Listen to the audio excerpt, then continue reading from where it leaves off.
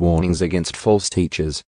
Now the Holy Spirit tells us clearly that in the last times some will turn away from the true faith.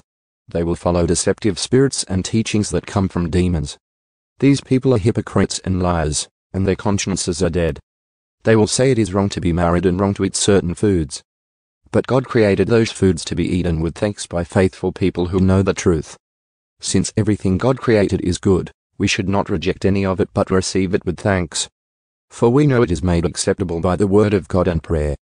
A good servant of Christ Jesus. If you explain these things to the brothers and sisters, Timothy, you will be a worthy servant of Christ Jesus, one who is nourished by the message of faith and the good teaching you have followed. Do not waste time arguing over godless ideas and old wives' tales. Instead, train yourself to be godly. Physical training is good, but training for godliness is much better, promising benefits in this life and in the life to come. This is a trustworthy saying, and everyone should accept it. This is why we work hard and continue to struggle, for our hope is in the living God, who is the Savior of all people and particularly of all believers. Teach these things and insist that everyone learn them.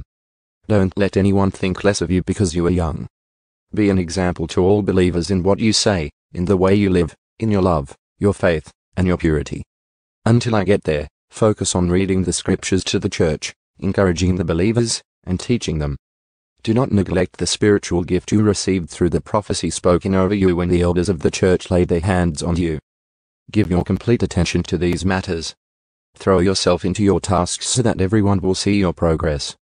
Keep a close watch on how you live and on your teaching. Stay true to what is right for the sake of your own salvation and the salvation of those who hear you.